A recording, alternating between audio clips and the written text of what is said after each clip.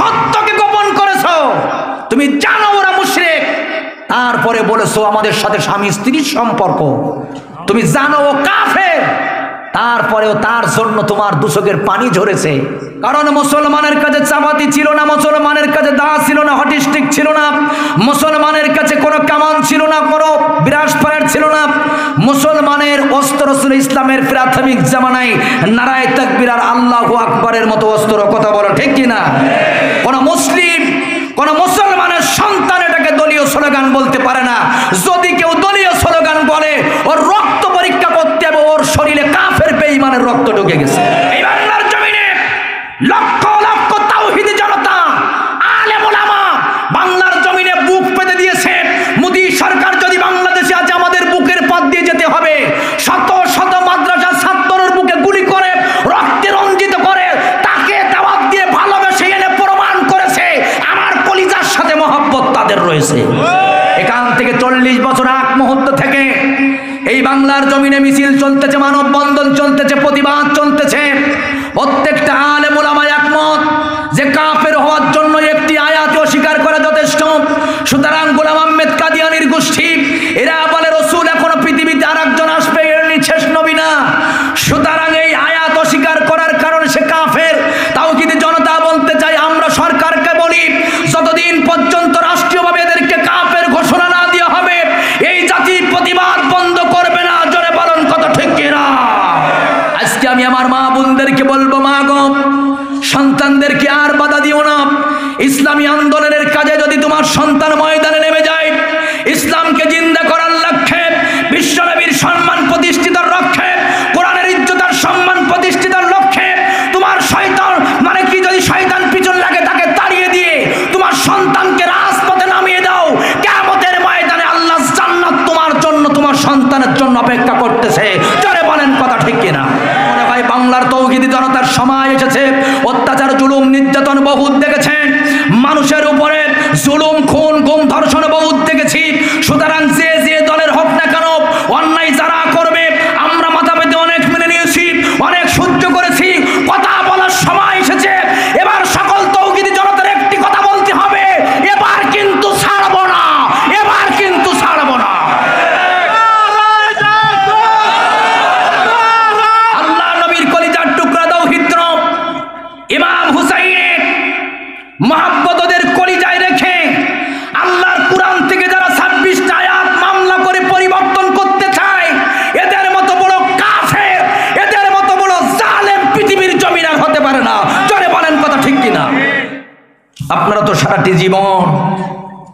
বক্তা চয়েস করে গেছেন। কোন বক্তা আনলে ওয়াজ ভালো হবে, কোন বক্তার সুর ভালো। আমি আজকে সর্বপ্রথম শ্রোতা চয়েস করব। সারা জীবন বক্তা চয়েস করবেন, কি আমরা শ্রোতা চয়েস করতে পারি কি না? সামিউল কোরআন সালাসা। কোরআনের শ্রোতা তিন প্রকারের হয়, জোরে বলেন কয় প্রকার? তিন প্রকারের শ্রোতা। এক নম্বরের শ্রোতা হলো যখন এলাকায় মাহফিল হয়, এরা মাহফিলে আসে, বাজার ঘাটে না ঠিক ময়দানে এসে বসে। বক্তার কথার সাথে জবাব দেয়, আখেরি দোয়া নিয়ে বাড়িতে চলে যায়। সামনে বসে আর মুস্তি মুস্তি হাসে। মনে মনে ভাবে আজকে যত আলোচনা হবে, সব আলোচনার ওপরে আমার জিন্দগি পুরাপুরি আমল হবে। এরা বিশ্বাস করে আল্লাহর কোরআন, মেনে নিয়েছেন সঠিক ইসলাম এবং দিন। আল্লাহ পাক দেড় হাজার বছর আগে ঘোষণা দিয়েছেন, এদের নাম হলো মমিন। যেরকম সোবাহান তাহলে এক নম্বর শ্রোতা যারা, এদের নামটা কি বললাম? মমিন। দুই নম্বর পরে হবে, তিন নম্বর। তিন নম্বর শ্রোতা হলো, আল্লাহ আছে, জান্নাত আছে, জাহান্নাম আছে, বিশ্বাস করে না দিলে এরা যায় না কোনো মাহফিলে। মাহফিলে আসে না, মুসলমানের মাহফিলের কোনো ডিস্টার্বও করে না। এরা বিশ্বাস করে না কোরআন। এরা বিশ্বাস করে না কোনো হক্কানি পীর। এরা কোনো কিছু মানে না, আল্লাহকে বিশ্বাস করে না, কোনো পীর মানে না, কিছুই এরা মানে না। এদের নাম হলো কাফির। বলুন তো এদের নাম কি? কোন কাফের কি কোরআনের মাহফিলে ডিস্টার্ব করতে এসেছে? না। তাহলে এক নাম্বার মোমেন, তিন নাম্বার কাফের। বাকি আছে কয় নাম্বার? দুই নাম্বার। সিরিয়াল নাম্বার দুই, এদের চরিত্রটাও দুই নাম্বার। এরা মাহফিলে আসে, ঠিক বাজারে যেই বসে। লটপটি, চটপটি, বুট বাজা, বাদাম বাজা খায় আর ঘুরঘুর ঘুরঘুর করে ঘুরে বেড়ায়। একবার উত্তর দিক, একবার দক্ষিণ দিক, একবার পশ্চিম দিক। এগুলো হলো তাজা, টাটকা, নির্ভিজাল মুনাফি জোরে বলুন, কথা ঠিক কিনা? তাহলে শ্রোতা কয় প্রকার? সবাই বলেন, তিন প্রকার। আমার ভাইরা, তিন নম্বরের শ্রোতা এই ময়দানে কারা কারা আছেন? হাত দেখান। ওই যে পিছনে কয়জন হাত তুলছে? আচ্ছা অনেকে হয়তো বুঝে পারি নাই, তিন নম্বর শ্রোতা। যাই হোক, আল্লাহ কবুল করুন, সকলে বলুন, আমিন। দুই নম্বরের শ্রোতা কারা কারা আছেন, একটু হাত দেখান তো। কেউ নেই? মাশাল্লাহ এইবার এক নম্বরের শ্রোতা, যাকে বলে একের শ্রোতা। এই কারা কারা আছেন, হাত দেখা, লিল্লাহে তাকবীর। লিল্লাহে তাকবীর। মাশাল্লাহ হাত নামা। আপনারা ভরত ভাইনার মানুষ আজকে প্রমাণ করলেন। হুজুর, আমাদের এলাকায় কোনো কাফের তো নেই। কোনো মুনাফেকও নাই, যা আছে সব এক নম্বরের ইমানদার। কথা বলুন, ঠিক কিনা? তাই তো প্রমাণ হলো। তিন নাম্বার, দুই নম্বরে কোনো শ্রোতা আপনাদের এলাকায় নাই। সব কয় নম্বরের শ্রোতা এক নম্বরের শ্রোতা বন্ধুরারি আমার একান্ত মনোযোগ দিন। আমি একটু আগে আল্লামা মুফতি আব্দুল জব্বার আজমির আলোচনা গভীরভাবে শুনতেছিলাম। হুজুরের সেই অসমাপ্ত আলোচনার থেকে আমি কেড়ে নিলাম। ভেবেছি যে হুজুর আজকে যে বিষয় নিয়ে আলোচনা করেছেন, আমিও ঠিক সেই ধারাবাহিকটা ঠিক রাখতে চাই। বন্ধুরারে আমার কোরআন কারিম থেকে আমি আপনাদের সম্মুখে একখান আয়াতে কারিমা তলাবাদ করেছি। একটু আগে আপনারা সকলে বললেন, হুজুর, আমরা সবই ইমানদার এক নম্বরের শ্রোতা। আল্লাহ রব্বুল আলমিন সোরা তো সোয়ারার ভিতরে বললেন, বলুন তো কোন সোরা? আল্লাহ রাব্বুল আলামিন বললেন, ইয়াউমা ইয়ানফাউ মালু ওয়ালা বানুন ইল্লা মান আতাল্লাহা বিকলবিন সালিম। জোরে কোন, আল্লাহু আকবার। আল্লাহ রাব্বুল আলামিন বললেন, নবী, আপনি জানা দিন, সেদিন অর্থ সম্পদ কোনো কাজে আসবে না।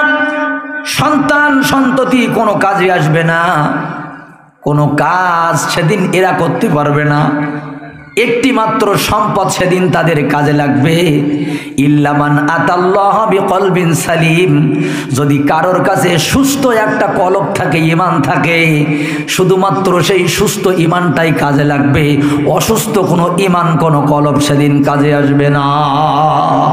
এ কি মোল্লার কথা না আল্লাহর কথা? জোরে বলেন, কার কথা? আল্লাহর কথা। তাহলে একটু আগে আপনারা জানলে বলেন হুজুর, আমরা সব ইমানদার আল্লাহ পাক বলতেছেন, ইমান মাঝে মাঝে সুস্থ হয়, আবার মাঝে মাঝে একটু কথা বলেন, মাঝে মাঝে সুস্থ হয়, আবার মাঝে মাঝে অসুস্থ হয়। এখন আপনাদের কাছে যাদের ইমান আছে, এটা কি সুস্থ ইমান না অসুস্থ ইমান?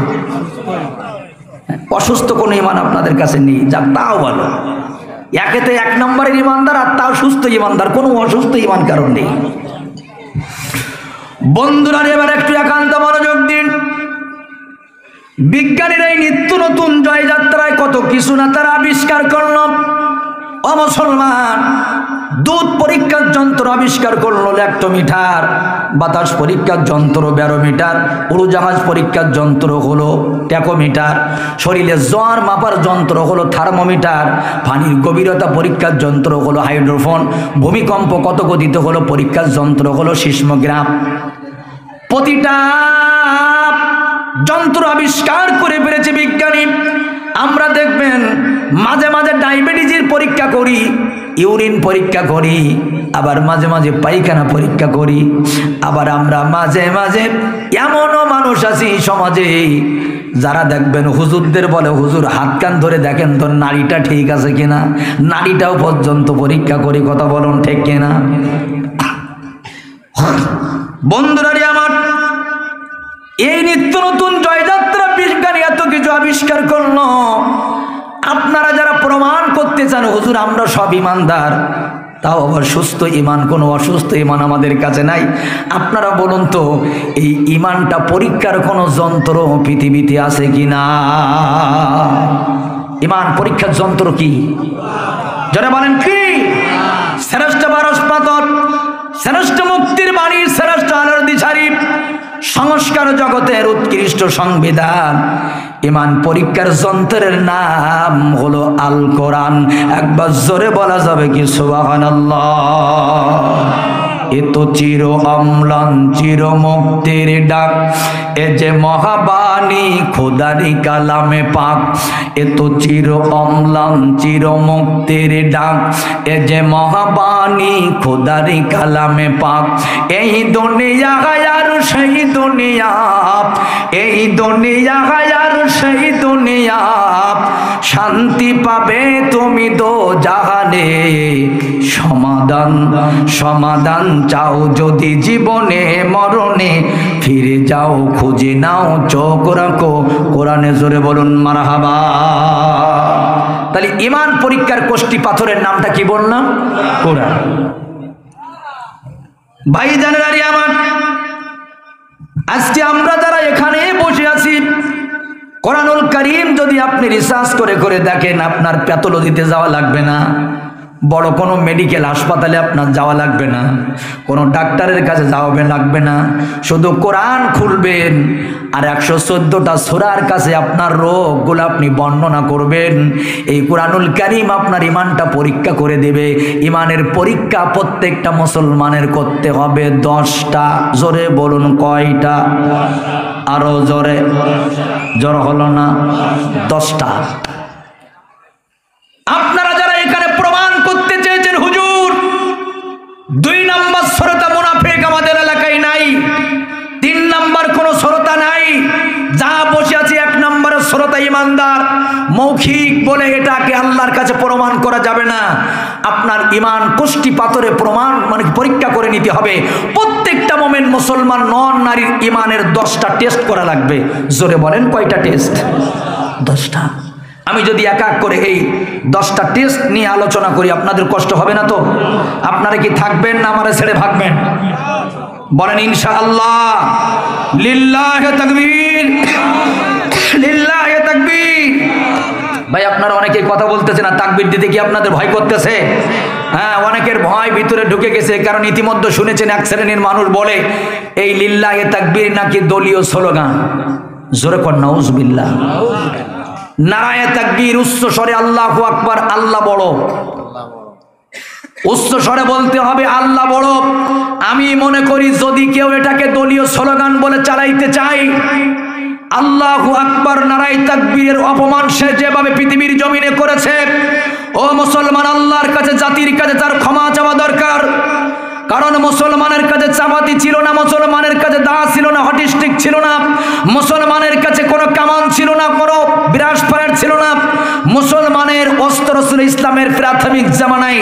নারায় তাকবির আর আল্লাহ আকবরের মতো অস্ত্র, কথা বলো ঠিক কিনা কোন মুসলিম কোন মুসলমানের সন্তান এটাকে দলীয় স্লোগান বলতে পারে না। যদি কেউ দলীয় স্লোগান বলে, ওর রক্ত পরীক্ষা করতে হবে, ওর শরীরে কাফের বেঈমানের রক্ত ঢুকে গেছে। ভাইরা আমার এমানের দশটি পরীক্ষা সকলের করতে হবে। এক নাম্বার পরীক্ষা হল, কোরআনুল করিমের বারো নম্বর সোনা। সুরাটার নাম হলো সুরাতুল ইউসুফ। জোরে বলেন কোন সুরা? সুরাতুল ইউসুফ। এই সুরাতুল ইউসুফের একশত ছয় নম্বর আয়াতের কাছে আপনার প্রথম পরীক্ষাটা দিতে হবে। কয় নম্বর আয়াত বললাম? একশত ছয় নম্বর আয়াত। আল্লাহ রাব্বুল আলামিন ঘোষণা দিলেন পৃথিবীর ইমানদারেরা শুনে নাও, তোমাদের ইমানের টেস্ট করো। আল্লাহ পাক জানিয়ে দিলেন ওমাম ইউমিনু বিল্লাহি ইল্লা অহুম মুশরিকুন। জোরে আল্লাহু আকবার। আমি আল্লাহ বললাম, দুনিয়াতে যারা ইমানদার বলে দাবি করেছ, এই ভরত ভাই নাই, যারা ইমানদার বলতেছো, আল্লাহ করে অধিকাংশ মোমেরা সব হলো মশরে কি মোল্লার কথা না আল্লাহর কথা? অধিকাংশ মোমেনেরা মশরে আজকে তো অবাক হয়ে গেলাম। আমরা বলি কি আর আল্লাহ বলল কি? অধিকাংশ হয়তো দুই একজন ঠিক আছে, কিন্তু অধিকাংশ মশরে কেন? তোমরা যে নামাজ পড়ো, রোজা রাখো, হজ করো জাকাত দাও। তোমরা তাহাজ্জুদ পড়ো। তোমাদের প্রতিটা ইবাদাতের ভিতরে শির্ক যুক্ত থাকে। তোমাদের এই ইবাদাতগুলা আল্লাহর জন্য হয় না। অধিকাংশ মানুষ দেখানোর জন্য বেশি হয়। এই জন্য তোমাদের এর ভিতরে শিখ ঢুকে গেছে। জোরে বলুন কথা ঠিক কিনা? কিছু কিছু নতুন জামাই দেখবেন শ্বশুর বাড়িতে বেশি বেশি নামাজ পড়ে। ও বাড়ি কিন্তু একত্র নামাজ পড়ে না। এরম আছে কিনা কম? বাড়ি একত্র নামাজ পড়ে না শ্বশুর বাড়ি গেলেও নামাজ পড়া শাখাইছে কিছু কিছু বিয়াই আছে বিয়ের বাড়ি গেলে বেশি নামাজ পড়া শাখায় আবার কিছু কিছু মানুষ আছে নমিনেশন পাওয়ার পরে নামাজ পড়া সাগা এর আগে কোনোদিন নামাজ পড়ে না। এরম আছে কীরকম আচ্ছা বলুন তো, এই যে ইবাদাতগুলা করে, এগুলো কি আল্লাহর জন্য না মানুষ দেখানোর জন্য? নিঃসন্দেহ মানুষ দেখানোর জন্য। আমার মুসলমান ভাইয়ের জন্য কিছু কিছু কথা আছে যেগুলো হয়তো বারবার শুনেছেন। তারপরে কথাগুলা বারবার করে তাকিক করা দরকার। কারণ আল্লাহ নবী সাবিনা এক কথা যদি বারবার বারবার শুনতো, ওই কথাগুলা নতুনের মতো করে তাদের ভিতরে ঢুকায় নিত। কিন্তু কেউ যদি মনে করে এই কথাগুলো আমার জানা, তার হেদায়তের দরজাটা বন্ধ হয়ে যাবে। কিসের দরজা? হেদায়তের দরজাটা বন্ধ হয়ে যাবে। আমার মুসলমান বন্ধু, তাহলে আল্লাহ রাব্বুল আলমিন বললেন, তোমার ইমানটা কোষ্টি পাথরে তুমি পরীক্ষা করো। অধিকাংশ মোমেনেরা হলো মুশরে যারা শিরকি করে, কোরআনুল করিমের মধ্যে আল্লাহ রাব্বুল আলমিন বলেছেন, আমি তোদের সব গুণা মাফ করে দেব। একটি গুণা মাফ করব না, বলুন তো কিসের গুণা শিরকের গুণা সুরাতুল মায়েদার বাহাত্তর নাম্বার আছে বললেন إنه من يشرك بالله فقد حرم الله عليه الجنة পৃথিবীতে যদি কেউ শিরকের গুণা করে আল্লাহর সাথে কাউকে যদি শরিক করে আমি আল্লাহ বলে দিলাম যে জান্নাতের জন্য তোমরা পাগল আমার আল্লাহ জান্নাতটা তোমাদের জন্য হারাম আচ্ছা বলতে পারবেন এই পৃথিবীতে সর্বপ্রথম কোন গুণা দিয়ে শুরু হয়েছিল পৃথিবী উৎপাদন হয়েছিল কোন গোনা দিয়ে? শিরকের গোনা। জোরে বলেন, কিসের গোনা? সর্বপ্রথম পৃথিবী উৎপাদন হয়েছে শিরকের গোনা দিয়ে। কোন নবীর আমলে ছিল, কেউ বলতে পারবেন? হজরতি আদম আলী ইসলামকে আল্লাহ চল্লিশটা সন্তান দিল, জোরে বলেন, কয়টা? কথা বলেন। বিশটা হলো কন্যা সন্তান আর বিশটা হলো ছেলে সন্তান। তবে নিয়ম ছিল, আমাদের যেমন এক একটা সন্তান হয়, আর আদম আলী ইসালাতাম হাওয়া আলী ইসালাতামের গর্বের থেকে যে সন্তানগুলা হতো, এক একবারে দুইটা করে হতো, একটা ছেলে হতো আর একটা মেয়ে হতো। এই জোড়ের ছেলের সাথে ওই জোড়ের মেয়ে, আর ওই জোড়ের মেয়ের সাথে এই জোড়ের ছেলে।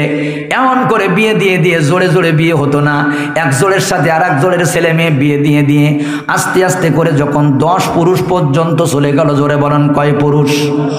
এখনও পর্যন্ত পৃথিবীর জমিনে একটা গুনার কাজ করাইতে পারে না ইবলিশ।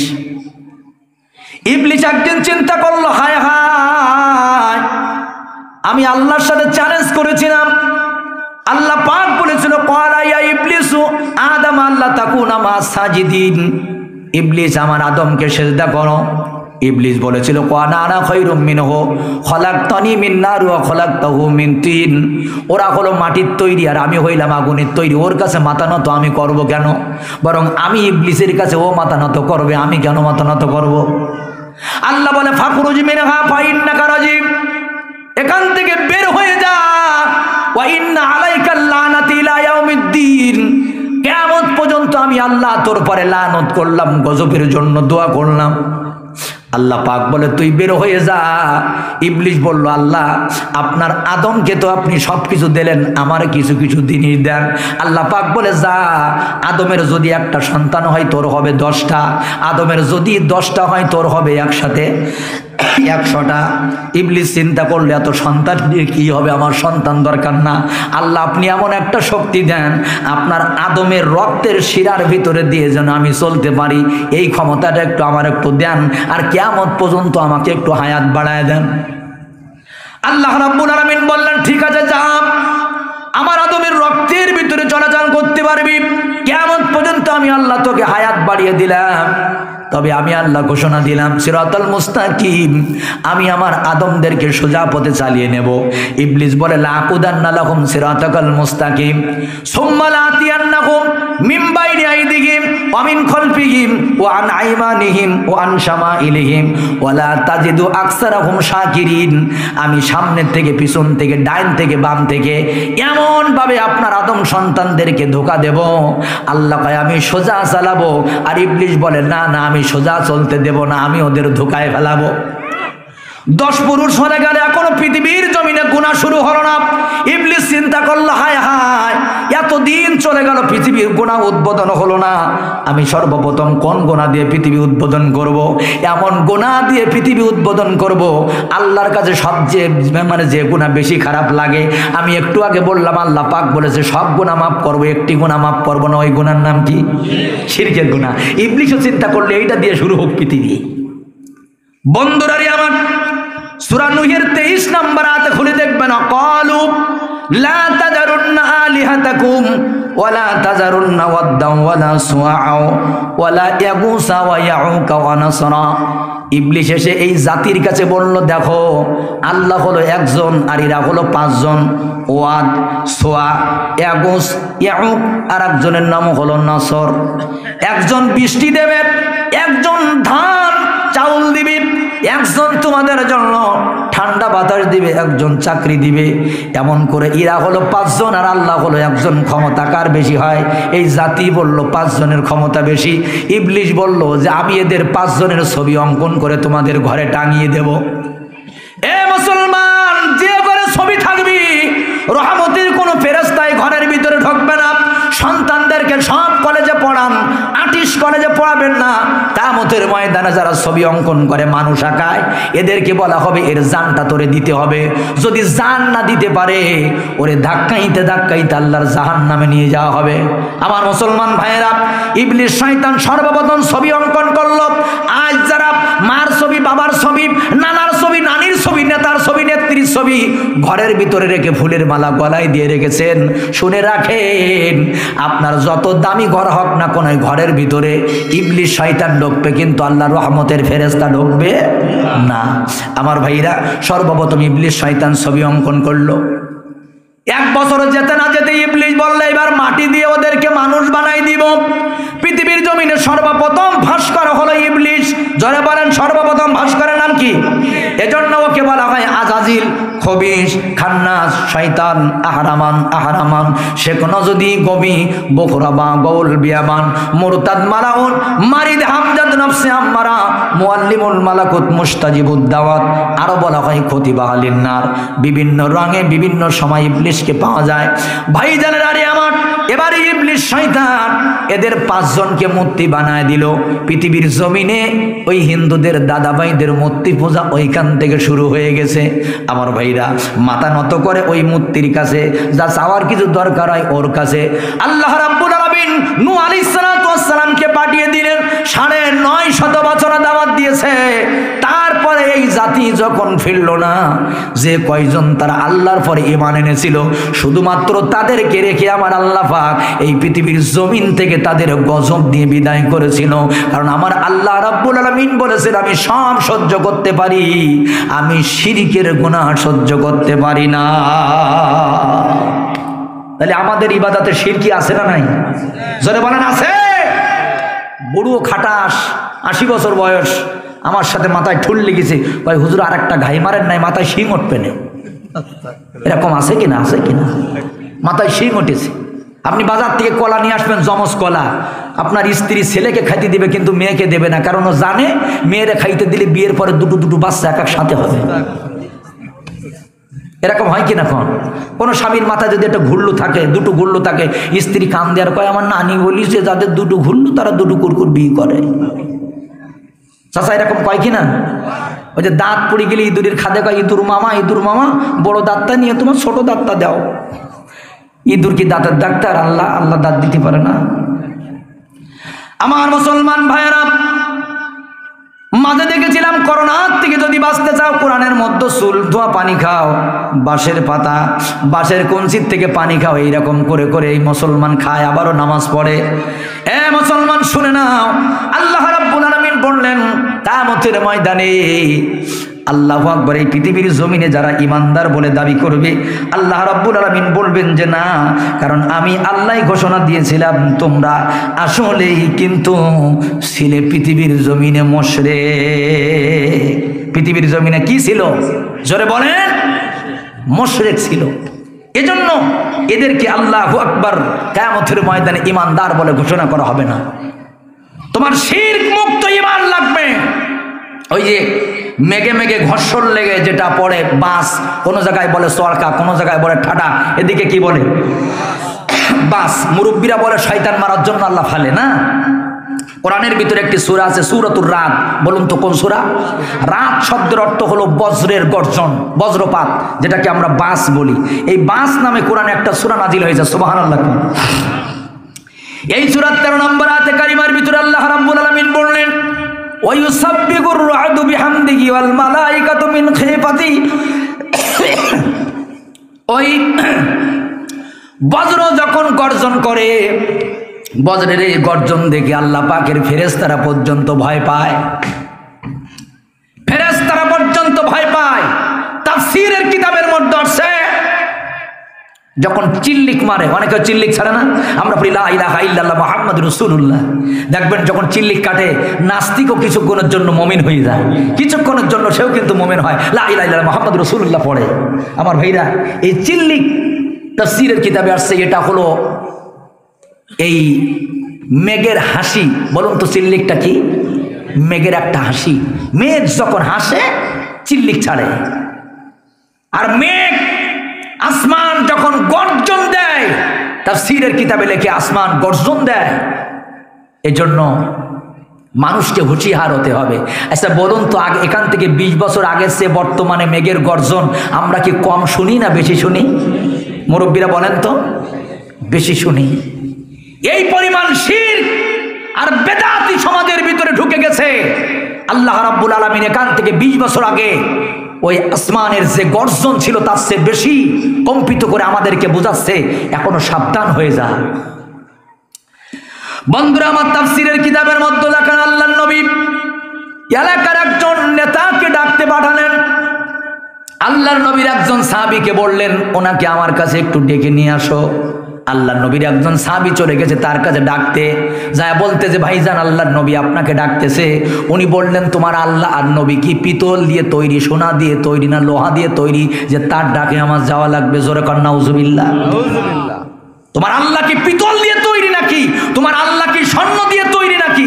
যে তোমার আল্লাহ ডাকবে রসুল ডাকবে আমাকে যেতে হবে? এসেছেন ইয়া রসুল আল্লাহ কথাটা এরকম বলেছে রাসুল বলেন আবার যাও। উনি দ্বিতীয়বার চলে গেলেন। একই কথা উনি দ্বিতীয়বার বললেন, তোমার আল্লাহ কি পিতলের তৈরি, লোহার তৈরি নাকি স্বর্ণের তৈরি? তৃতীয়বার ডাকলেন, একই কথা বললেন যে, তোমার আল্লাহ লোহার তৈরি, পিতলের তৈরি নাকি স্বর্ণের তৈরি? আমার ভাইরা, একই কথা বলার কারণে আল্লাহ রাব্বুল আলামিন বললেন আল্লাহ রাব্বুল আলামিন বললেন, কোরআনুল কারীমের মধ্যে ওই আয়াতে ঘোষণা দিয়েছেন নবী, আপনি জানা দেন। এই চরকা বলেন বাস বলেন আর ঠাটা বলেন, আমি আল্লাহ এটা সৃষ্টি করেছি। আমি ইচ্ছে করি যার মাথায়, আমি আল্লাহ তার মাথায় ফালাই। আল্লাহ রাব্বুল আলামিন পৃথিবীর জমিনে সর্বপ্রথম যখন তাদের মাথায় এইগুলা ফালাইছেন, তার সিরের কিতাবের মধ্যে লেখে ওর মাথায় পড়ার সাথে সাথে ধর থেকে মাথাটা আলাদা হয়ে গেছে। আজকে আমাদের সমাজে এত পরিমাণ শির্ক বেড়ে গেছে, এত পরিমাণ বেদাতি বেড়ে গেছে, যার কারণে মেঘের গর্জন আগের থেকে আমরা অনেক বেশি দেখতেছি। বন্ধুরারে, আমার বাইরে আমার একজন ব্যক্তির নাম উনি নবীনা কোরআনুল করিমের ভিতরে আল্লাহ রাব্বুল আলামিন তার নামে একটি সূরা নাজিল করেছেন। বলুন তো, মানুষটার নাম কি হযরতে লোকমান হজরতে লোকমান, মানুষটা ছিলেন বেটে, মানুষটা ছিল খাটো, ঠোঁটটা ছিল মোটা, পেটটা ছিল মোটা, দেখতে হলো এইরকম হাড়ির তোলার মতো কালো। হজরতে লুকমানের ইজ্জত আর সম্মান আল্লাহ রাব্বুল আলামিন এত কেন বাড়িয়ে দিলেন? আমরা সন্তানকে ডেকে ডেকে কি অস নসিহত করি? আর লোকমান কি অস করেছেন? আল্লাহ পাক ধারাবাহিকভাবে কোরআনে বর্ণনা করেছেন। তার সন্তানকে ডেকে বলেছেন, ইয়া বোনাইয়ালা এ আমার সন্তানেরা শোনো ইন্না শিরকালা লাজুল মুনাজিব এই পৃথিবীর জমিনে সবচেয়ে বড় জুলুম হলো আল্লাহর সাথে শিরকি করা। একবার জোরে বলুন কথা ঠিক কিনা?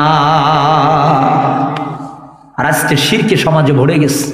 কিছুদিন আগে একজন বলল, সমস্ত ক্ষমতার উৎস জনগণ। কথা বলেন ঠিক কিনা? আবার কেউ বলে, আমরা করোনাশ্রে শক্তিশালী। আমফানের সাথে মোকাবেলা করার জন্য সব প্রস্তুতি গ্রহণ করেছি। হায় হায়, কত শক্তি তোমার! কি ক্ষমতা তুমি দেখাইতে পারো? আমার মুসলমান ভাইরা তালি বলতেছিলাম, ইমানের টেস্ট করতে হবে কয়টা? জোরে বলুন কয়টা? সবাই বলেন, এক নম্বর হলো সৌরাতুল ইউসুফের, একশো ছয় নম্বর হাতের কাছে আপনার টেস্ট করানো লাগবে। এইবার আসেন দুই নাম্বার। দুই নাম্বার কোরআনুল কারিমের টেস্ট আপনার ইমানটাকে টেস্ট করতে হবে। দুই নাম্বার সুরা সুরাতুল বাকারা, আয়াত নাম্বার হলো একশত চল্লিশ। জোরে বলেন কত নাম্বার আয়াত? একশত চল্লিশ নাম্বার আয়াত দিয়ে আপনার ইমানের দুই নাম্বার টেস্ট করানো লাগবে। আল্লাহ রাব্বুল আলামিন বললেন ওয়ামান আযলামু মিম্মান কাতামা শাহাদাতান ইনদাহু মিনাল্লাহ।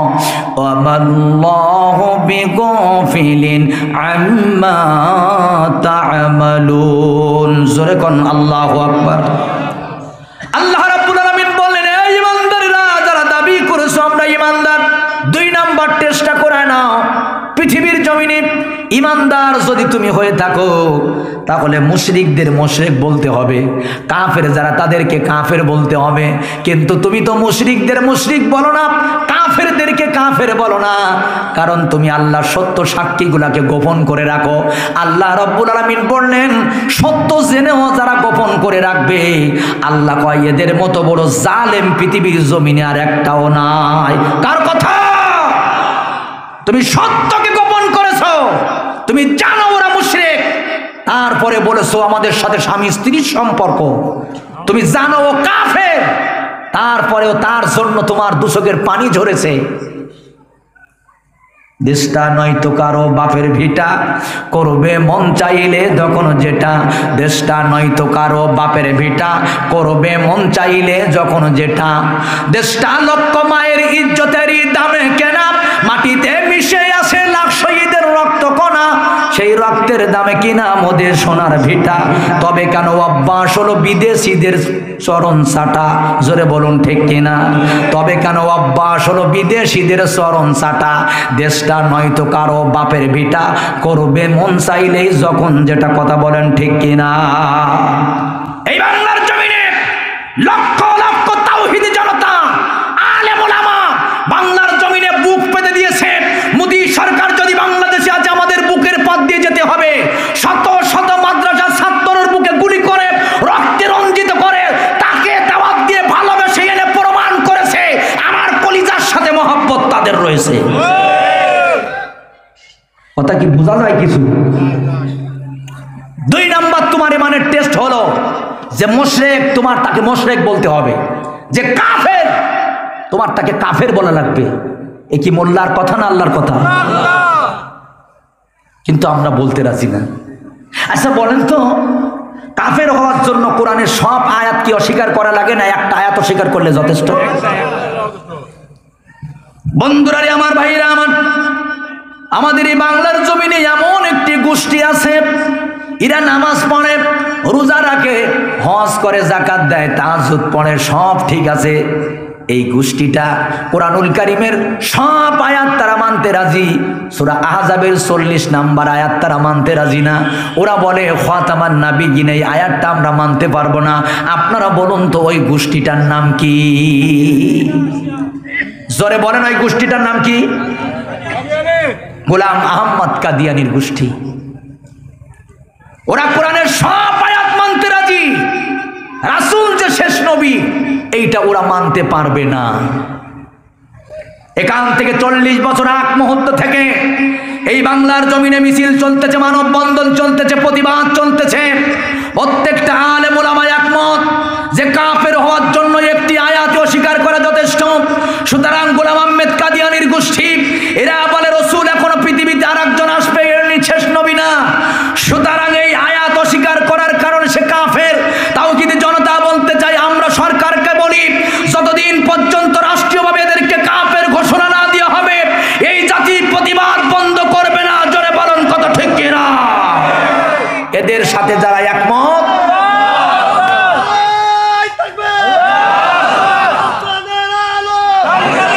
আমার ভাইজান সাথে যারা একমত ইরা হলো প্রকৃত ইমানদার।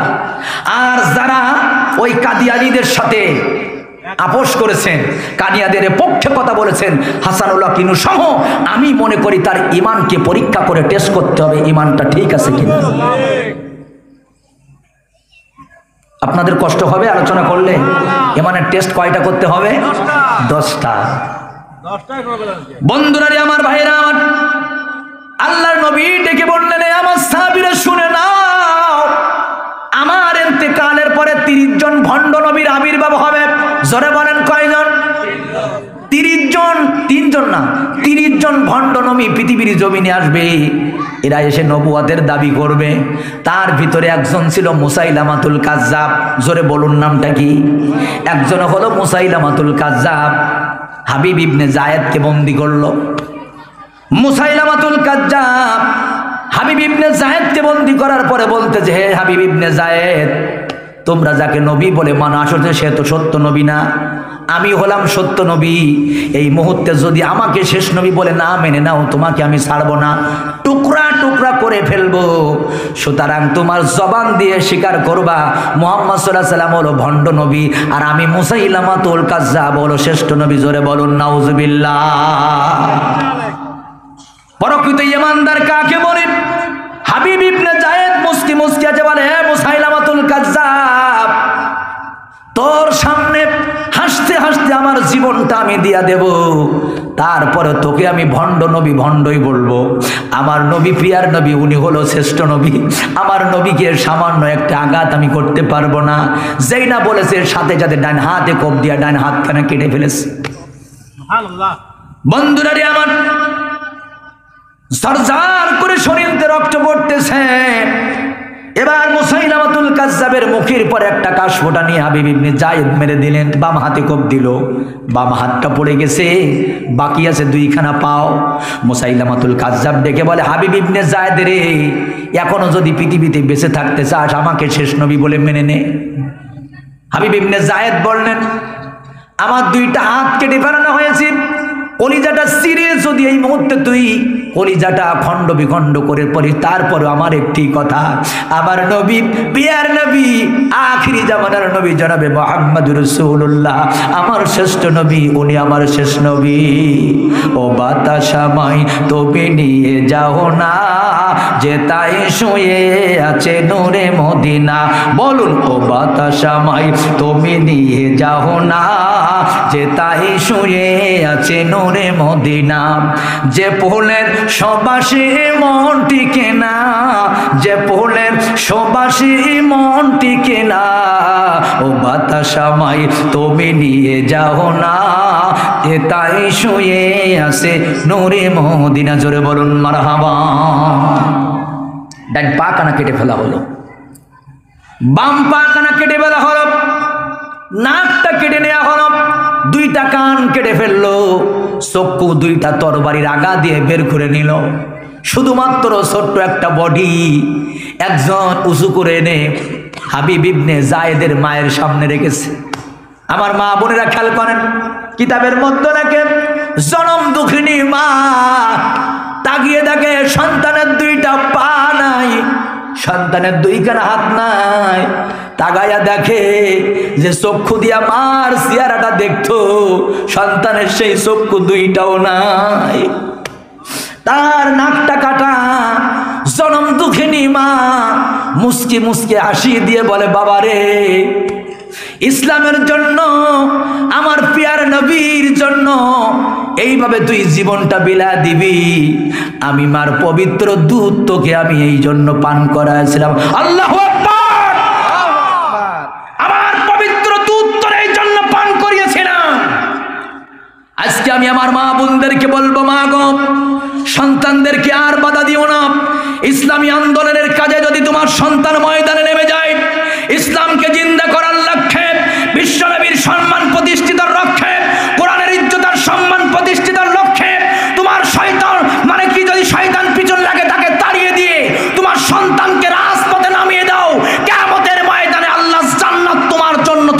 সন্তানের জন্য অপেক্ষা করতেছে। চলে বলেন কথা ঠিক কিনা? আজকে মাগুলো ভয় পেয়ে যায়। আমি মাঝে মাঝে বলি, রাসুলের তেষট্টি বছর জিন্দেগিতে চল্লিশ বছর ছিল মার খাব তা মারবো না, আর তিপ্পান্ন বছর পর্যন্ত ছিল, আর মারতে দেব না। আর তিপ্পান্ন থেকে তেষট্টি বছর ছিল, এবার কিন্তু ছাড়বো না। জোরে বলুন কথা ঠিক কিনা? এবার কিন্তু ছাড়বো না। তাহলে চল্লিশ বছর মায়ের খাব তা মারবো না, তিপ্পান্ন বছর আর মারতে। আর লাস্টের দশ বছর অ্যাকশনের সাথে ছিল, এবার কিন্তু ছাড়বো না। আমার মনে হয় বাংলার তৌকিদি জনতার সময় এসেছে। অত্যাচার, জুলুম, নির্যাতন বহুত দেখেছেন। মানুষের উপরে জুলুম, খুন, গুম, ধর্ষণ বহুত দেখেছি।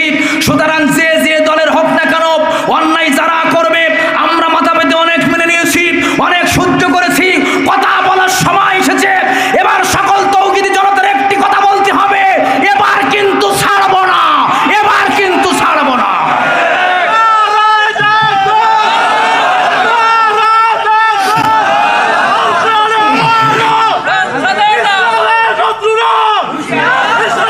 আমার ভাইজান আপনাদের কি কষ্ট হচ্ছে আলোচনা কি চলবে মাশাল্লাহ মারহাবা বন্ধুরা রে আমার এজন্য বলতেছিলাম মুসাইলামাতুল কাজ্জাব আল্লাহর নবীর সাহাবীকে নির্মম ভাবে শহীদ করে দিল। তারপরেও তাদের জবান থেকে একটি বার কিন্তু খাতামান নাবিয়িন এই শব্দটা অন্য কাউকে বলাইতে পারে নাই, জোরে বলুন ঠিক কিনা? আর মুসলিম হয়ে কত বড় যে মুসলিম হয়েও আজকে তারা বলতেছেন, রাসূল শেষ নবী, আমরা এইটা মানতে পারব না। একবার জোরে বলা যাবে কি নাউজবিল্লাহ হায় হায়। মুসলমান, তোমরা এইগুলা কেন পারো না বলতে? মুশরেককে মুশরেক বলা যায় না কাফেরকে কাফের বলা যায় না। মুখে দাড়ি মাথায় টুপি লম্বা জামা গায়ে দিয়ে ঈদুল ফিতরের যখন শুভেচ্ছা জানায় কিছুদিন আগে দেখলাম লিখেছে শারদীয় দুর্গা পূজার শুভেচ্ছা। আপনারা দেখছেন না মনে হয় কথাটা? আমি আপনাদের কাছে একটি কথা বলে গেলাম। ও মুসলমান কোন মুসলিম কোন মুসলিম যদি মনে করে ধর্ম যার যার উৎসব, সবার, ওর ইমানটা কিন্তু সুস্থ ইমান নেই, ইমানটা পরীক্ষা করা দরকার। হাসি লাগে। আমাদের বাংলাদেশের শিক্ষামন্ত্রী ডক্টর দীপুমণি ইউটিউবে সার্চ করে দেখবেন, উনি বলেছেন, ইসলাম ধর্মের চেয়ে সনাতন ধর্মই ভালো। কোরআন সাবাদ করে বললাম আমি। ইউটিউবে সার্চ করে দেখেন যে দেশের ধর্মমন্ত্রী বলতে পারে ইসলামের চেয়ে সনাতন ধর্ম ভালো। এই দেশের কপালে গজব ছাড়া আল্লাহ রহমত আসতে পারে না। একজন মন্ত্রী দুর্গার কাছে চাচ্ছে যে দেশে অশান্তি লেগে গেছে আমি মা দুর্গাকে বলব যেন এইগুলো বন্ধ হয়ে যায়। বলে যুবকরা তালি দেয়। মা দুর্গার কাছে চায়। কোন মুসলমান হয়ে যদি দুর্গার কাছে চায়, ওর ইমান টেস্ট করতে হবে, ওর ইমানে কলেরা লেগেছে। কারণ মনে যদি পছন্দরে গন্ধ কিরে পাওয়া যায়, চোখে তারে যায় না, দেখা মলম দেবী কোন জায়গায়? যদি ইমানে কলেরা লাগে, ও কি দেখা যায়? না। কি হলো এই বাংলার জমিনে? কিছুদিন আগে দেখলাম চিত্র জগতের এক নায়ক, নাম হলো রাসেল মিয়া। জরে বলেন কি মিয়া? চিত্র জগতের এক নায়ক নাম হলো রাসেল মিয়া। মিডিয়ার সামনে এসে বলতে যে আল্লাহর কসম আল্লাহর কসম দিয়ে বললাম আমি একটা সিনেমা এই সিনেমাটা পবিত্র সিনেমা। যুবকরা বেশি জানে। আমার সিনেমা হলো পবিত্র সিনেমা। ওই সিনেমার পরিচালক বলতেছে, তোমরা উজু করে সিনেমা হলের ভিতরে ঢুকবা, আবার ওই সিনেমা দেখে এসে নামাজ পড়বা, তোমাদের উজু নষ্ট হবে না। ও কি মুনিশ জাত উজু করে সিনেমা হলে ঢুকবা, আবার উজু করে এসে নামাজ পড়বা, তোমাদের উজু নষ্ট হবে না। এরপরে আবার রাসেল খান বলেছে যে আমরা কসম দিয়ে আল্লাহর কসম দিয়ে বলতেছি এই ছবিতে আমরা নায়ক, নায়িকা কেউ কাউকে স্পর্শ করিনি। সোরের মুখের আমরা অস্তাক ফিরুল্লাহ কি অবাক। দৃশ্য আজকে সমাজে চলতেছে। বন্ধুরারি আমার ভাইরা আমার, আমি অবাক হয়ে যাই কোনো কাফিরের কথা। নিশ্চয়ই আপনাদের মনে আছে, গত বছর আমি এই স্টেজে ওয়াজ করেছিলাম। কোরআনের ছাব্বিশটা আয়াতের নামে মামলা করা আপনাদের অনেকে মনে আছে কিনা? হ্যাঁ। এবছর আমি সেই সাবজেক্টে আলোচনা করতে পারব না পারি নাই। বন্ধুরা আমার ওই ওয়াসিম রিজবি আপনারা বলুন তো কি কাফের না মুসলমান দাবি করেছে? এ, ও তো এমনি কাপের কিন্তু নামে তো মুসলমান। নামেতে মুসলমান, ব্যবহার নাস্তিক সমান। বেদিন মুসলিমের ভিতর কোথায় ব্যবধান? দেখো, বেদিন মুসলিমের ভিতর কোথায় ব্যবধান? জোরে বলেন, ঠিক কিনা আপনাদের শিয়াদের জাজিয়া মিছিল আপনারা দেখেছেন, চাচা? দেখেন নাই? সারা বছর নামাজ নেই, কালাম নেই, রোজা নেই তাহাজুত নেই। যেই বছর একবারে আসবে, দশই মহরম তিন চার চারটা তরবারি একসাথে বেজে খালি, হাই হুসাইন হাই হুসাইন। এইভাবে খালি মারবে আর, হাই হুসাইন। আপনারা দেখছেন কি না এই হলো ওদের অভ্যাস। আল্লাহ নবীর কলিজার টুকরা দাও হিদ্র ইমাম হুসাইনের মহাব্বত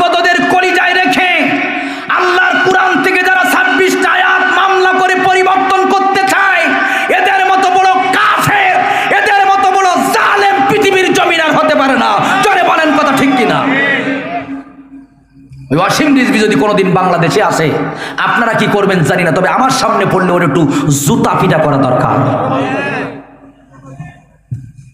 কত বড় কোরআনগার চিন্তা করেন। ভাই জানে নারী আমার বন্ধু নারী আমার, এজন্য আমি আপনাদের কাছে বলতে চাই আমার মুসলমান ভাইরা, দুই নাম্বার ইমানের টেস্ট হলো আপনাদের মনে আছে যে মশরেকদেরকে মশরেক বলতে হবে, কাফেরদেরকে কি বলতে হবে? কোনো বাধা আছে? প্রকাশ্য বলতে সমস্যা আছে? বিশ্বনবী গোপনে দাওয়াত দিলেন, আল্লাহ পাক বলেন, ফাস্তা বিমা তোমার। প্রকাশ্য বলেন আপনি, প্রকাশ্য দাওয়াত দেন। আপনার সামনে আবু জেহেল বসা, উদ্বা বসা, সাইবা বসা, এটা ভয় করবেন না। পৃথিবীর জমিনে যদি কোনো বক্তা ওয়াজ করে আপনি কোরআনের কথা বলবেন আপনার সামনে কোন নেতা বসা কোন হুনু বসা এইটা পরোয়া করে আপনাকে ওয়াজ করলে হবে না। সত্য কথাগুলো আপনাকে বলতেই হবে ঠিক কিনা কম? তিন নাম্বার ইমানের টেস্ট। কয় নাম্বার? নাম্বার। বন্ধুরা আমার তিন নাম্বার ইমানের টেস্ট আমরা করতে চাই। কোরআনুল করিমের ভিতরে উনচল্লিশ নাম্বার সোনা জরে বলেন কত নাম্বার?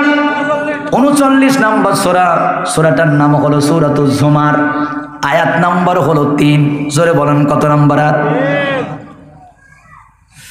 আল্লাহ রাব্বুল আলামিন বলেন, আল্লাযীনা তাখাযু বাদুহুম আউলিয়া বাদ। মুসলমান, আল্লাহ রাব্বুল আলামিন কোরআনুল কারীমের মধ্যে ঘোষণা দিলেন আল্লাহ রাব্বুল আলামিনকে বাদ দিয়া যারা অন্যকে অভিভাবক বানায়। আমার ভাইজান, কোরআনুল করিমের মধ্যে আল্লাহ রব্বুল আলমিন সুরাজ জুমানের তিন নম্বর আয়াতের মধ্যে বলেন, কাফের বেঈমানদেরকে যদি জিজ্ঞাসা করা হয় যে তোমরা ও মূর্তি পুজোকেরা, অগ্নি পুজোকেরা, তোমরা এইগুলো কেন করো? ওরা বলবে, আমরা কেন করি জানেন? আমরাও আল্লাহর ইবাদত করি। আমরা একজনকে মাধ্যম বানিয়েছি। এর মাধ্যম দিয়েই আমরা আল্লাহকে পেতে চাই। ডাইরেক্ট কোরআনুল কারীমের মধ্যে আল্লাহ বলেছেন, কাউকে উসিলা বানানো হারাম। যদি কেউ কাউকে মাধ্যম বানাইতে চায় তার ইমানটা পরীক্ষা করতে হবে, তার ইমানে অসুস্থ ইমান, সুস্থ ইমান নেই। আল্লাহর সাথে আর বান্দার সাথে কোনো মাধ্যম থাকতে পারে না। অকুল্লুহুম আতিহিয়াউমাল কিয়ামাতি ফারদা। সৌরাতুল মরিয়ামের ভিতরে আল্লাহ রব্বুল আলম বলতেছেন, কেয়ামতের ময়দানে বান্দার আমার কাছে যারা আসবে, একা একা। জোরে বলেন কে কে? কথা বলেন সবাই। অকুল্লুকুমাতি কিয়ামাল কিয়ামাতি ফারদা। কেয়ামতের ময়দানে আল্লাহর সামনে কেউ দুইজন আসতে পারবে না। যে সামসামিগিরি করবে, কানে কানে ঠুস ঠুস করবে, না। আতিহিম, ফারদা, একা একা আসবে আল্লাহর কাছে। আজকে আমাদের সমাজে কিছু মুরব্বী আছে, মুরব্বী কি হল কয় বাবা, জীবনে কোরআন শরীফ পড়তে পারিনি।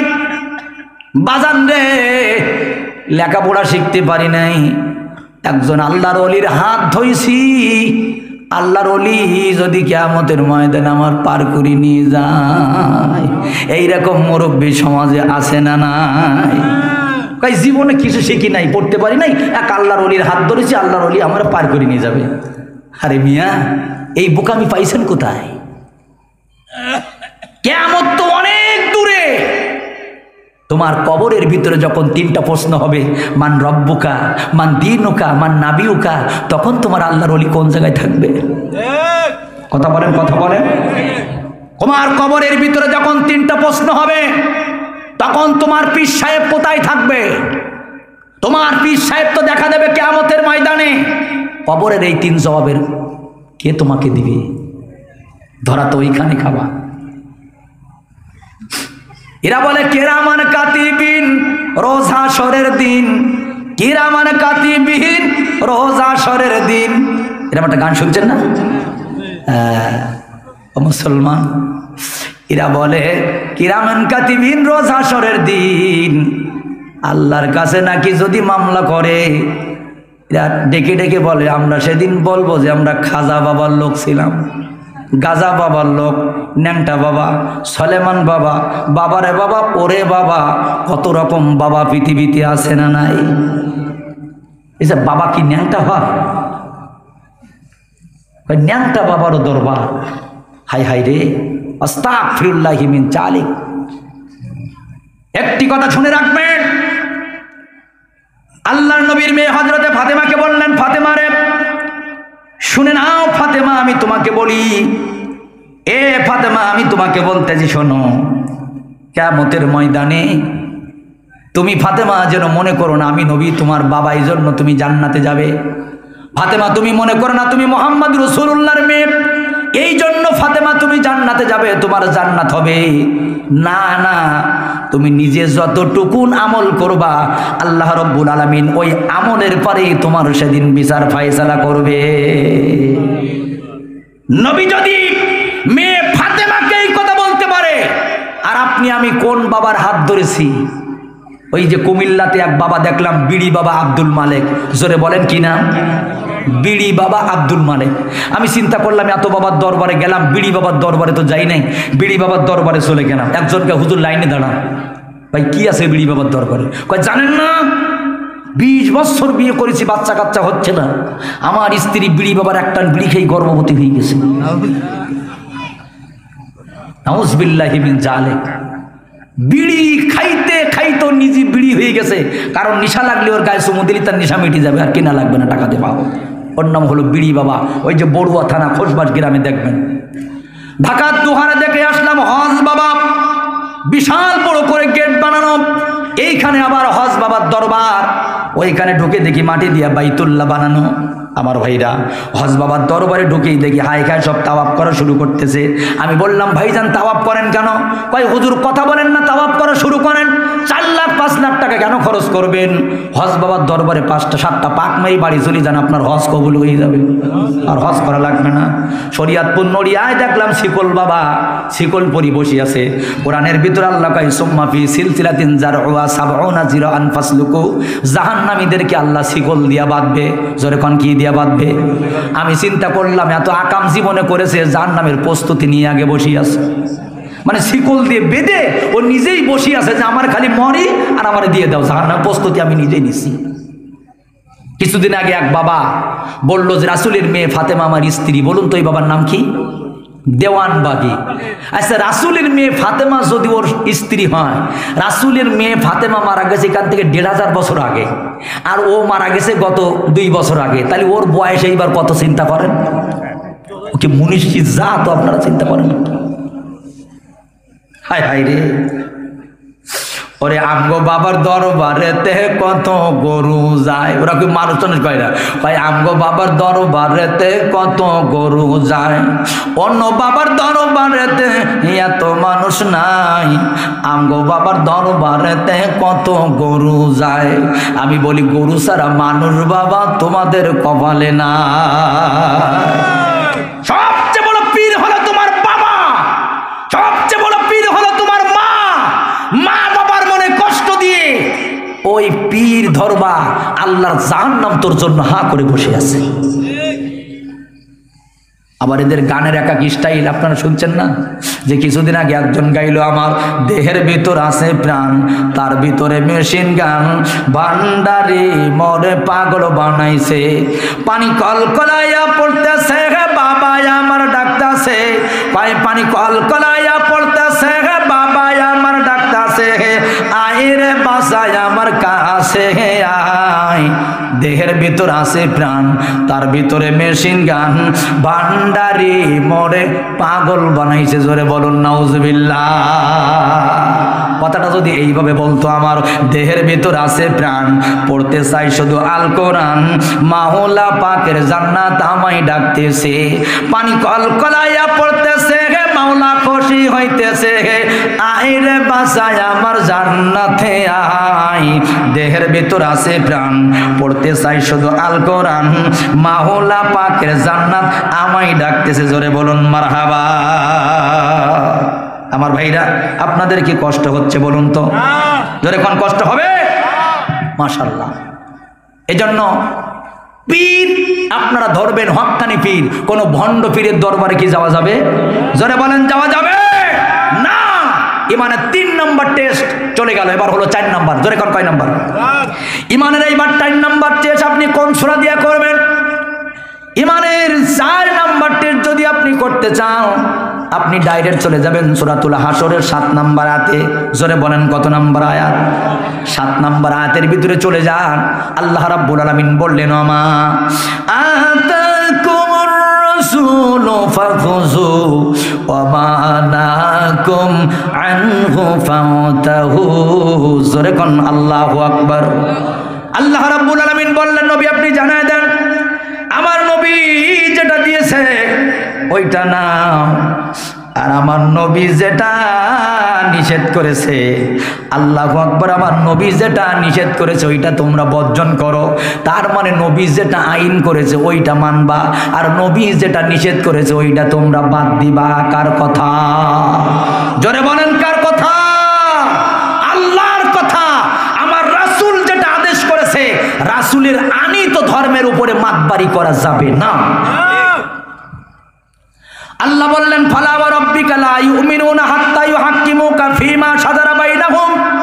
এ মুসলমানের বাচ্চারা, শুনে নাও, আমার নবী যেটা ফাইসারা করেছে এরপরে যদি তুমি মেনে না নিতে পারো। আল্লাহ কয়, আমি আল্লাহ আমার কসম দিয়ে বললাম, তোমরা ইমানদার হতে পারবা না। তোমাদের নামটা ইমান থেকে কেটে দেওয়া হবে। ফালা ওয়া রাব্বিকা লা ইউমিনুনা হাত্তা ইউহাক্কিমুকা ফীমা শাজারা বাইনাহুম। আল্লাহ কয়, কসম দিয়ে বললাম, তোর ইমান কেটে দেব। আমার নবী যা বলে যদি ওইটা মেনে না নিস। রাসূল বলেছে দাড়ি রাখো। রাসূল কি বলেছে? আর আমার দেশের কিছু মহিলারা বলে, কি? আমরা বেটা, দাড়ি রেখেছে দুপুর বেলা ভাত নিয়ে যতক্ষণ দাড়ি না কাটপা তোমার কিরম বুড়ো বুড়ো বুড়ো বুড়ো দেখা যাচ্ছে? এরকম কিছু মহিলারা আছে না নাই? যতক্ষণ দাড়ি না কাটে, ততক্ষণ স্বামীর সাথে কথা বলে না। আমার মুসলমান ভাইয়েরা ছেলে মেয়ে দেখতে যেতে ছেলের যোগ্যতা ভালো, সব দিকে ঠিক আছে। আল্লাহ আকবার কোনো দিক থেকে অভাব নাই। মেয়েটাও দেখতে ভালো মাশাল্লাহ ছেলেরও পছন্দ হয়ে গেছে। যাওয়ার সময় বলে গেল, হুজুর, মেয়ের বাবাকে বলেন যদি এই মেয়েটা দেয়, আমি বিবাহ করতে রাজি আছি। সন্ধ্যার সময় বললাম, চাচা মেয়েকে দিবেন? কয়, বাবা, সব তো ঠিক আছে। আমার বাড়িওয়ালার মেয়ে অমত করিছে, খালি ছেলের মুখি দাড়িগুলোর জন্যে। কি শয়তানের শয়তান। তোমার ইমান পরীক্ষা করা লাগবে সুপনগর বাজারে। দাড়ি থাকার কারণে যদি জামাই পছন্দ না করতে পারো, তোমার ইমানে কলেরা লেগেছে। যে মহিলা স্বামীর মুখে দাড়ি পছন্দ করে না, যে মহিলা স্বামীর গায়ে লম্বা জামা পছন্দ করে না, ওই সমস্ত মহিলা হলো শয়তানের খারাজি। এরা কখনো কিন্তু ভালো জাতের হতে পারে না। জোরে বলো ঠিক কিনা?